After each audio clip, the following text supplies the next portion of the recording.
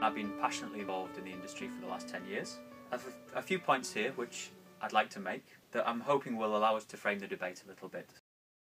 We're going to see a revolution, a movement towards large turbines over the next few years. Why is that?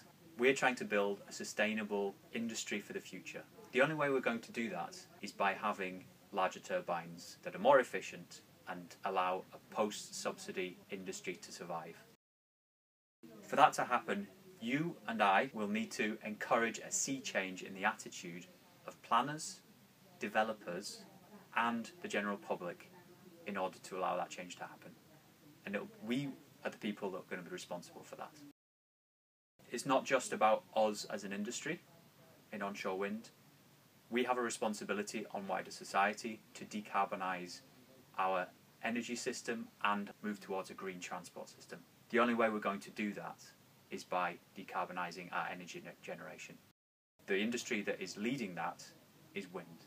The exciting thing is that we can do this by reducing the number of turbines we actually build and end up cluttering our landscape. How is that?